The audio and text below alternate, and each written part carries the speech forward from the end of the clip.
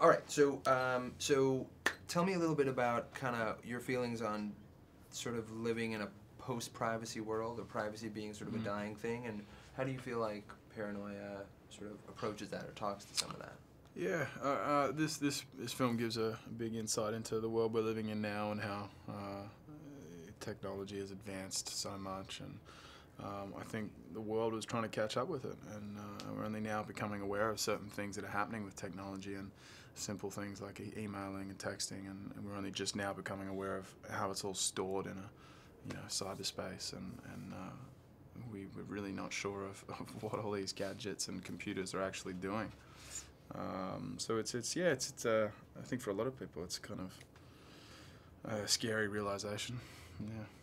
Uh, do you feel like it's kind of like a there's a social relevance to the movie for that reason? Yeah, I mean this movie is very relevant to where we are in in, in, in technology and, and communication um, this day and age, and just how much it's evolved. And um, you know we're so interconnected all the time now with you know this huge database of information and the internet and and all of that. It's it's all. Uh, you know, it's just it's, it's it's ongoing and it's it's it's still developing and no one's really, I think, caught up with it yet.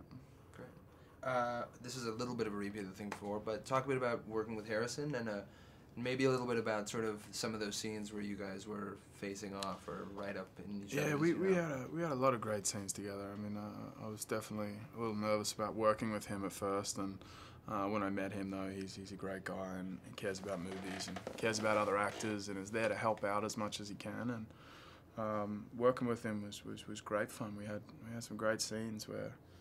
You know, he's he's either teaching me stuff, and he's always teaching me stuff as an actor and as a person. But um, really good fun to work with. Yeah. Great. Uh, last uh, one for this section is, you know, what do you think makes Paranoia a smart thriller? Uh, what do you think people will love about it when they see it? It's uh, you know, it's fast paced. Um, it, it gives you a, a big look into the world of corporate espionage and uh, and how dangerous it is.